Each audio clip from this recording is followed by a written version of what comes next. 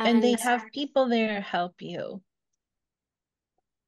They um they be help you. Like I called the hotline the one year and then um the next time I go to the vote, they actually had someone there just for people that um need helps. So she came over and she let know me that, you know, she's from the office and stuff. And she helped me proper with the um with the voting in the person.